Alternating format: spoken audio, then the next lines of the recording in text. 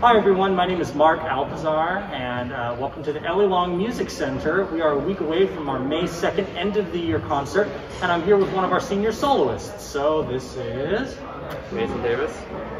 Where do you go to school, Mason? Uh, I'm from St. Johnsbury and I, I go to St. Johnsbury Academy Awesome. How long have you been playing the clarinet?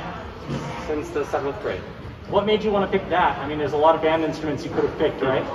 Um, my dad played in middle school and I found an old one in his closet.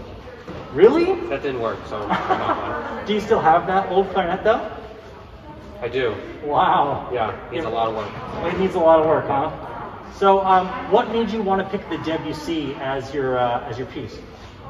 Um, I began playing that over a year ago, um, and I picked it like a year and a half ago. I picked it because it's one it's one of the leading uh, works for um, clarinet, and I'd started playing it earlier, but like wasn't good enough yet to play it. So it was one of those things where I returned to it and learned it again. Nice. Um, and it's really it's really awesome to be playing it with the orchestra. Yeah, well, you sound spectacular, and we can't wait for the concert. And thanks for picking it.